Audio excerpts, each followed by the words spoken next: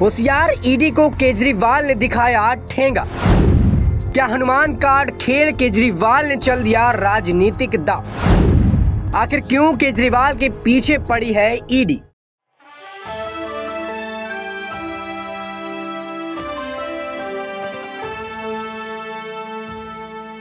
नमस्कार, आप देख रहे हैं नेक्स्ट न्यूज़ पॉलिटिकल बाइट मैं हूँ आपके साथ आकाश त्रिवेदी। दर्शकों, आप सभी का बहुत बहुत स्वागत है। हमारे खास प्रोग्राम क्वेश्चन मार्क कुछ तो है। और इस खास प्रोग्राम पर ऐसे ही एक मामले की बात करेंगे जिसपे अभी भी क्वेश्चन मार्क लगा हुआ है कि आखिरकार ऐसा होता हुआ कैसे नज़र नहीं आ रहा। बता दें कि बात कर रहे हैं उत्तर प्रदेश की महामहिम मायावती को लेकर। वो मायावती जिनको लेकर चर्चाएँ तेज हो रही थी कि इंडिया गठबंधन पर शामिल हो जाएँगी। वो मायावती जो दलित वोट साधने के लिए बड़ा आ, कार्ड मानी जा रही थी। वो मायावती जो उत्तर प्रदेश की सियासत पर जिस भी पार्टी से उतरती तो ब्रह्मास्त्र की तरह काम करती और पार्टी की जीत दिलाने के लिए अपना जो वर्चस्व है वो पूरी तरह से लगा देती। लेकिन यहाँ पर मायावती के जो बयान बदले मायावती का जो यहाँ पर कहना हुआ उससे कहीं ना कहीं इंडिया गठबंधन को बड़ी समस्याएँ देखने को मिली। बता दें कि इंडिया गठबंधन के नेता ये चाहते थे कि उत्तर प्रदेश की दलितों की महामहिम मायावती उनके खेमे में आ जाए, इंडिया गठबंधन पर शामिल हो जाए, जिससे उनका खेमा मज़बूत हो जाए और मजबूती के साथ आगे बढ़े। और ऐसे में हर वो आर्थक प्रयास यहाँ पर विपक्षी पार्टी के नेता कर रहे थे। यानी कि इंडिया गठबंधन का वो हर एक नेता जो ये चाहता था कि मायावती उनके पार्टी पर आ जाए, वो हर प्रयास कर रहा था कि किसी तरह से मायावती को यहाँ पर मना लिया जाए तो यहाँ पर बीजेपी को कड़ी टक्कर देने के लिए उनके पास एक बड़ा ब्रह्मास्त्र आ जाएगा। और वाकई में अभी भी मायावती वो बड़ा ब्रह्मास्त्र लेकर कहीं ना कहीं उत्तर प्रदेश की सियासत पर बैठी। और वो जिस भी पार्टी के साथ जाएँगी, कहीं ना कहीं उस पार्टी की जीत का जो प्रतिशत है, वो ऊपर होता हुआ नज़र आ सकता है। बता दें कि यहाँ पर इस तमाम बातों को लेकर मायावती ने अपने रुखों को साफ़ कर दिया। अपने जन्मदिन के मौके पर मायावती ने यहाँ पर बड़ा ऐलान कर दिया। और मायावती ने साफ़ कर दिया कि वो किसी भी दल के साथ जुड़ने नहीं वाली। है वो चाहे बीजेपी हो, चाहे वो कांग्रेस हो, चाहे वो इंडिया गठबंधन हो, चाहे वो एनडीए गठबंधन हो, वो किसी भी गठबंधन के साथ नहीं जुड़ेंगी, वो अकेले मैदान पर उतरने वाली है। और उसका उन्होंने एक बड़ी वजह भी बताई। उन्होंने बताया कि ऐसे में उनको फ़ायदा हो सकता है जिनके साथ मैं जुड़ूँगी लेकिन मेरी खुद की पार्टी का यहाँ पर पतन हो जाता है। तुझको बता दें कि मायावती का वो बयान देना इंडिया गठबंधन की मुसीबतें पड़ गई। एनडीए गठबंधन को तो खासा यहाँ पर कोई फ़र्क पड़ता हुआ नज़र नहीं आया, लेकिन इंडिया गठबंधन की नेताओं के यहाँ पर सुर बदलने लगे। इधर मायावती ने इस बात का ऐलान तो किया कि वो किसी गठबंधन के साथ नहीं जुड़ेंगी, लेकिन दूसरी तरफ़ उन्होंने अखिलेश यादव का भी ज़िक्र कर दिया। अखिलेश यादव को गिरगिट बता दिया। अब उस गिरगिट वाले बयान को लेकर लगातार सियासत तेज है। शिवपाल सिंह यादव, उनके चाचा आते हैं, वो मायावती को लेकर बयान देते हैं और कहते हैं कि ये दलितों की नहीं, दौलतों की मसीहा है। वो दलितों की बेटी नहीं दौलतों की बेटी है। तो ऐसे में उनका ये बयान आना फिर यहाँ पर अखिलेश यादव का बयान आया कि हम तो उनको प्रधानमंत्री बनाना चाहते थे और वो इस तरीके की बातें कर रही हैं। तो कहीं ना कहीं सियासत व्यक्तिगत तौर पर अब यहाँ पर होती हुई नज़र आ रही है। यहाँ पर व्यक्तिगत तौर पर देखने को मिल रहा है कि नेता एक दूसरे पर, आरोप प्रत्यारोप कर रहे हैं ना कि राजनीतिक तौर पर। राजनीतिक तौर पर आप पार्टी के प्रोटोकॉल के हिसाब से किसी अन्य विपक्षी पार्टी पर हथकंडे अपनाते हैं बयानबाजियाँ करते हैं। लेकिन यहाँ पर व्यक्तिगत तौर पर जातिगत तौर पर यहाँ पर हमले किए जा रहे हैं। दलितों की मसीहा नहीं दौलतों की मसीहा है। शिवपाल यादव बोलते हुए नज़र आते हैं। ऐसे में मायावती अब कहीं ना कहीं कांग्रेस पार्टी से भड़क चुकी है और कांग्रेस पार्टी की हवा निकालने के लिए मायावती तैनात घूम रही है। मायावती ये जान चुकी है कि अब इनकी यात्रा के पहिए कैसे तोड़ने और मायावती उस काम पर लगातार लगी हुई। बता दें दर्शकों कि यहाँ पर मायावती अब राहुल गांधी को लेकर अपना रुख साफ़ करती हुई नज़र आ रही है और बोलती हुई नज़र आ रही कि राहुल गांधी की भारत जोड़ो यात्रा से कुछ होने वाला नहीं। बता दें कि मायावती लोगों की हवा निकालने में सर्वदा परंपरागत रही। आज अपने जन्म अपने जन्मदिन के मौके पर भी मायावती ने ऐसा ही कड़ा बयान दिया और राहुल गांधी और उनकी भारत जोड़ो यात्रा की हवा निकाल दी। राहुल गांधी भी गलती की है, उन्होंने कहीं ना कहीं इस बारे में भी मायावती बोलती हुई नज़र आ है बता दें कि आज सुबह ही उन्होंने मायावती के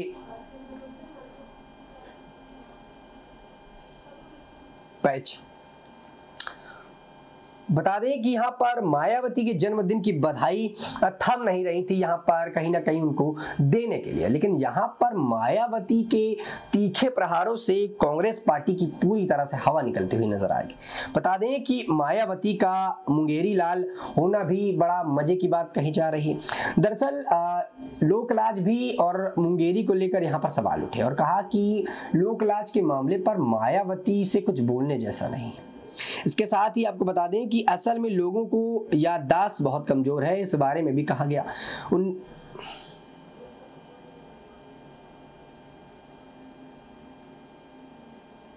पैच।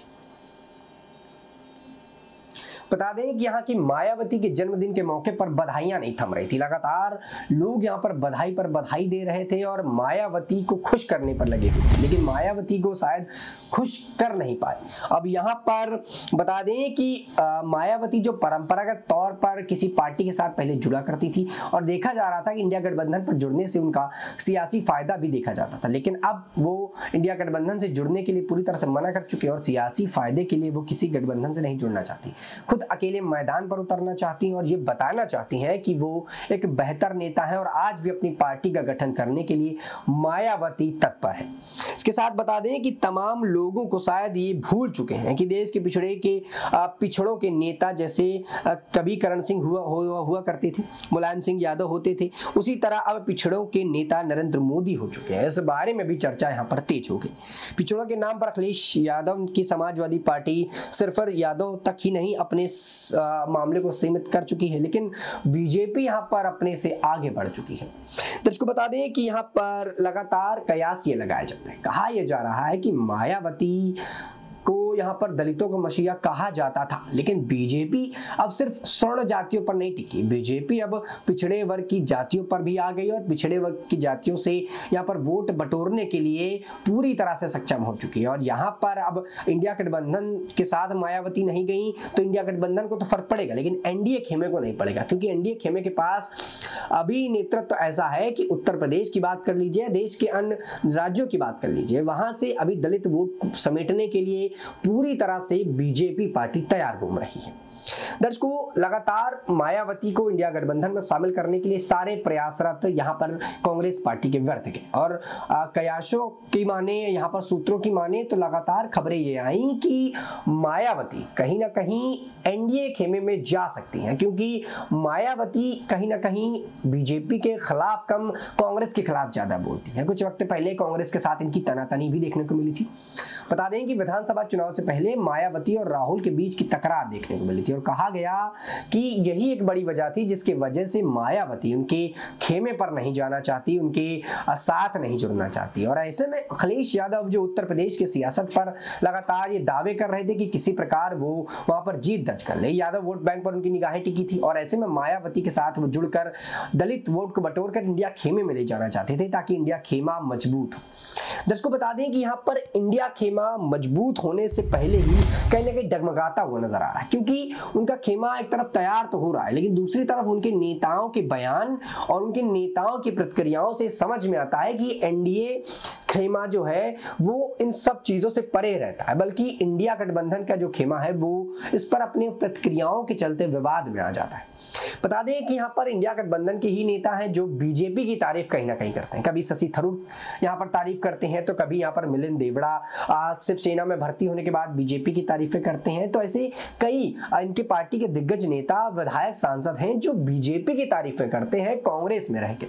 कहीं ना कहीं कांग्रेस को इस बात में भी समझना चाहिए और जानना चाहिए कि उनके पार्टी का गठन या उनकी पार्टी का नेतृत्व कितना ज़्यादा फीका है।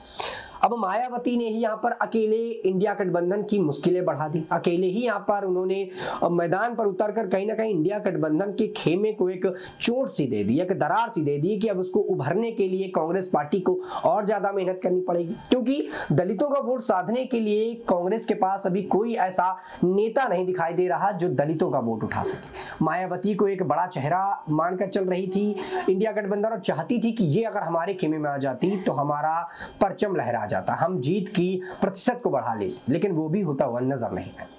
दर्शकों देखना होगा कि जिस प्रकार से मायावती ने यहाँ पर इंडिया गठबंधन पर जाने से मना कर दिया है तो ऐसे में अब इंडिया गठबंधन के लोग क्या नए पैतरे अपनाते हुए क्या अब पिछड़े वर्ग को साधने के लिए कांग्रेस पार्टी क्या कोई नया नेता खड़ा करती है? या फिर अभी भी उम्मीदें बाकी हैं कि मायावती उनके खेमे पर जा सकती है? इस पूरे मुद्दे पर आप अपनी क्या राय रखते हैं? नीचे कमेंट सेक्शन में हमें ज़रूर बताइएगा। फ़िलहाल के लिए इतना देश दुनिया की तमाम खबरों से जुड़े रहने के लिए आप देखते रहिए नेक्स्ट न्यूज़ पॉलिटिकल बाइट